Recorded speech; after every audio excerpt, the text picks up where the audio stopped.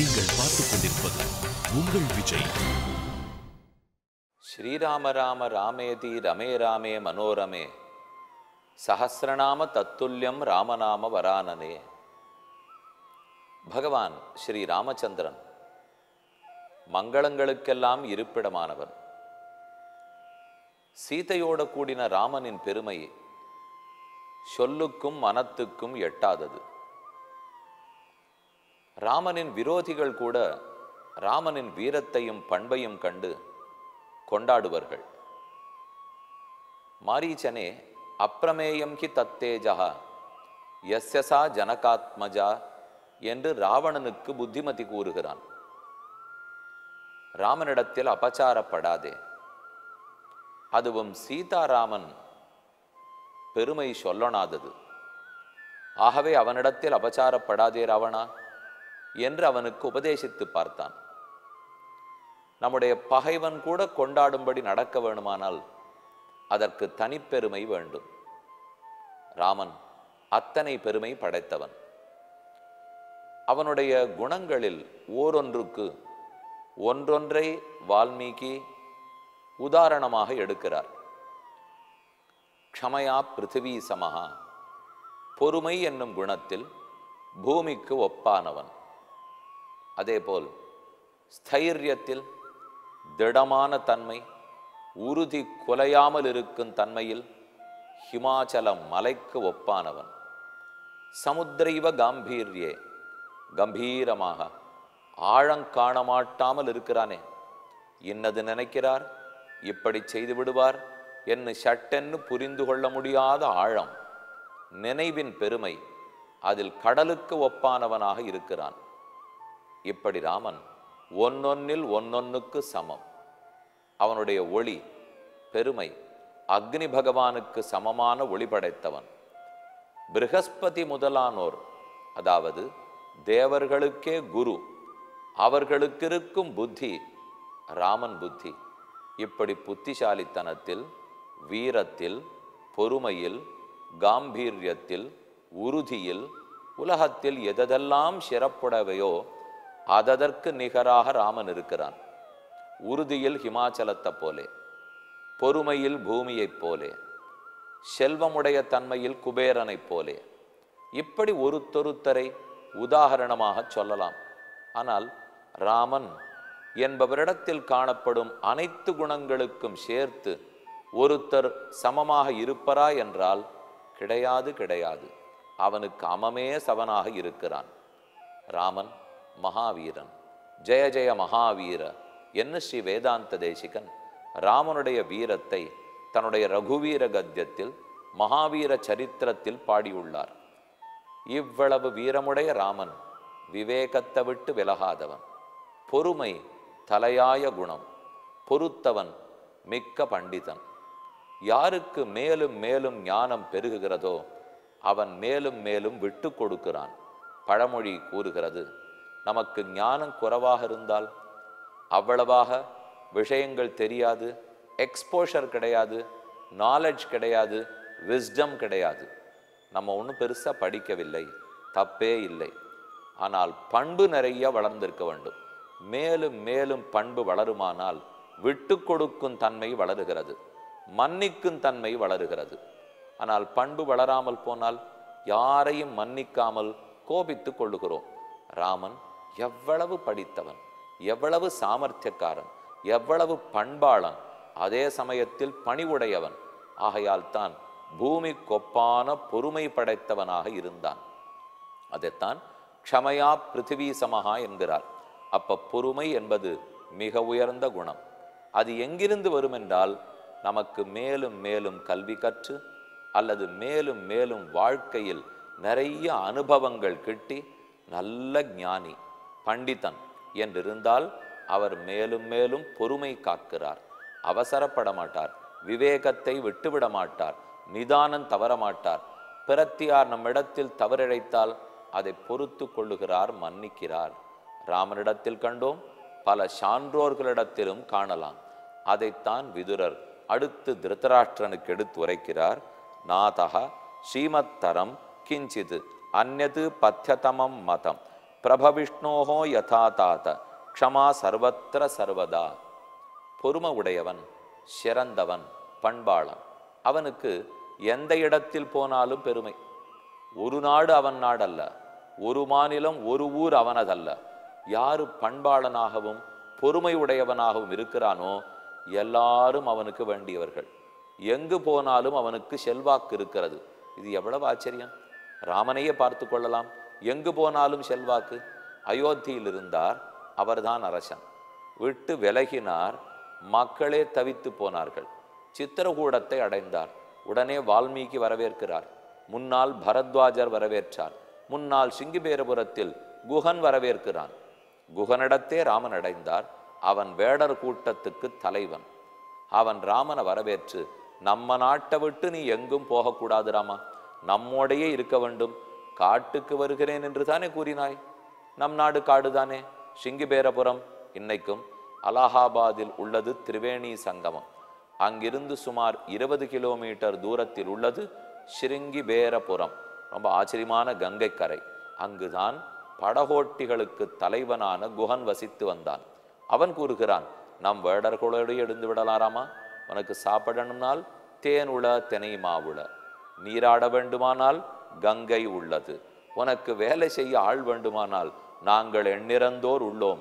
இங்கேயே வாழ்ந்து விடு அப்ப மக்கள் அயோத்தியாவாசிகள் நகரத்தவர்கள்.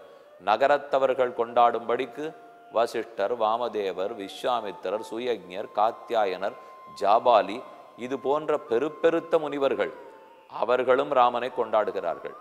அவனுடைய பிரஜைகள் அனைவரும் கொண்டாடுகிறார்கள். எங்கோ சென்றான் வேடர் கூட்ட தலைவனான குகன் அவன் நம்மிடத்தை விட்டு போகக்கூடாது என்கிறான். நீங்கள் பார்த்துக் கொண்டிருப்பது உங்கள் விஜய். வேடர் கூட்ட தலைவனான குகன் அவன் நம்மிடத்தை விட்டு போகக்கூடாது என்கிறான். அடுத்து பரத்வாஜ முனிவரின் ஆசிரமத்தை அடைந்தார். இங்கேயே இரு ராமா இது இடம் உனக்கு இல்லையா என்று அவரும் வேண்டினார். அங்கிருந்து சித்திரகூடத்தை அடைந்தால் அங்கிருக்கும் முனிவர்கள் எல்லாரும் எங்கும் போகாதே என்கிறார்கள்.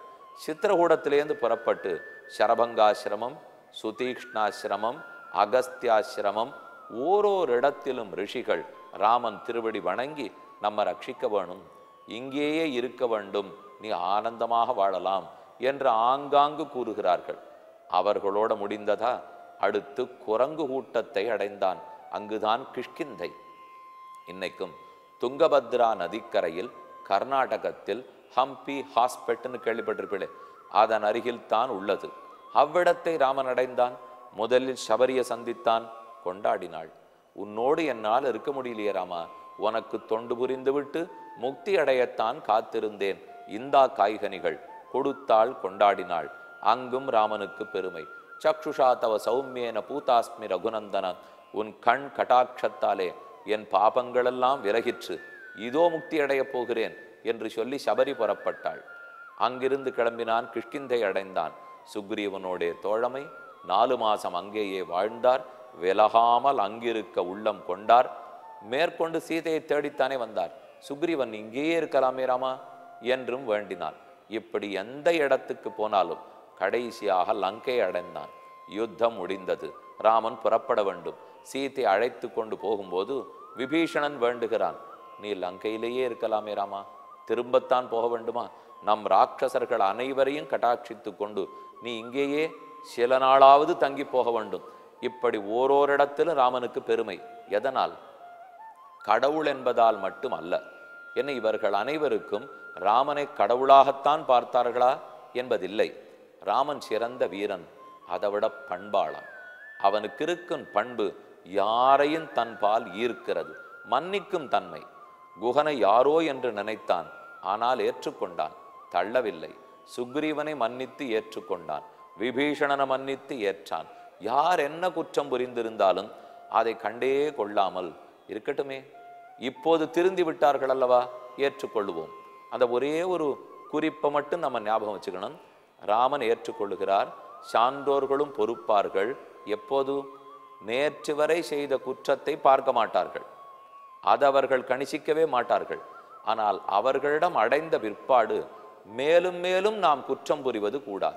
நேற்று வரை குற்றம் புரிந்தோமா? மறக்கப்படும் மன்னிக்கப்படும். ஆனால் அதையே ஒரு கிராண்டாக வைத்துக்கொண்டு லிபர்ட்டி எடுத்துக்கிறதுன்னு சொல்றோம் இல்லையா?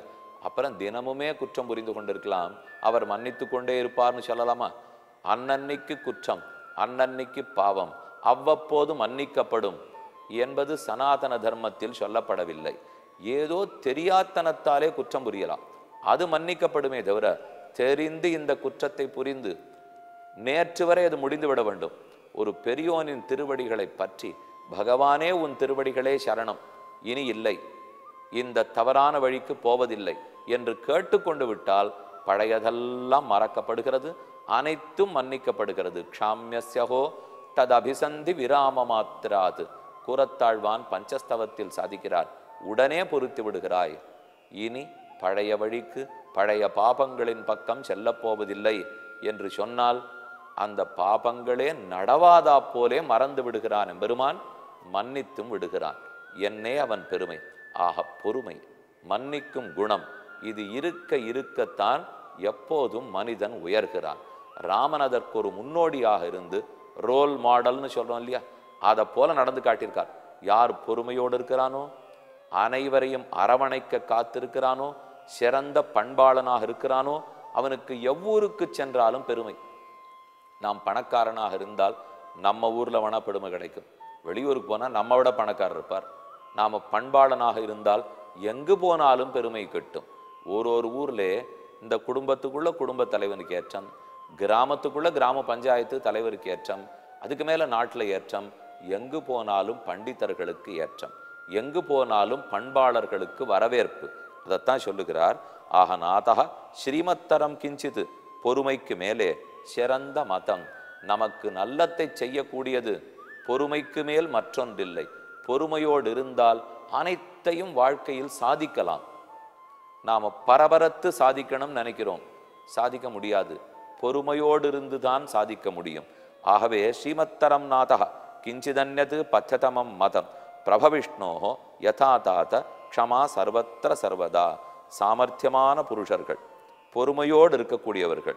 அவர்களுக்கு எங்கு போனாலும் ஆங்காங்கு பெருமை கிட்டும். அவர்களுக்கு கண்டிப்பா பொறுமைதான் பெருமை சேர்க்கிறது. நமக்கு பெருமை வேண்டுமா? பொறுமையோடு இருக்க வேண்டும்.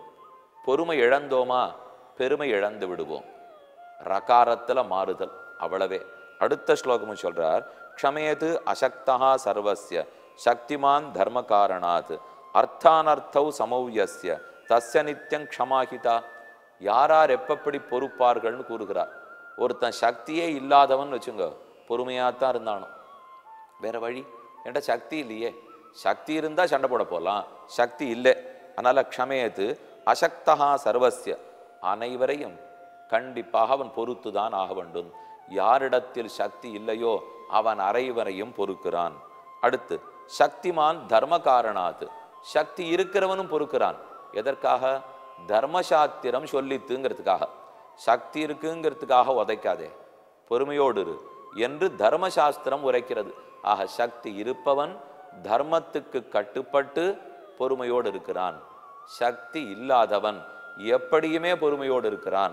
மேலே அர்த்தானர்த்தௌ சமௌயசிய தச நித்தியம் க்ஷமாஹிதா. மற்றொருத்தனுக்கு இது பொருள் உள்ளது. பொருள் இல்லாதது. இவனால் நமக்கு நன்மை ஏற்படும் இவனால் தீமை ஏற்படும். இது வெயில் இது குளிர். இது போன்ற வேற்றுமைகளே ஒருத்தர் மனசுல படலை. அவர்தான் சமதரிசி. எல்லாத்தையும் சமமா பார்க்கக்கூடியவர்.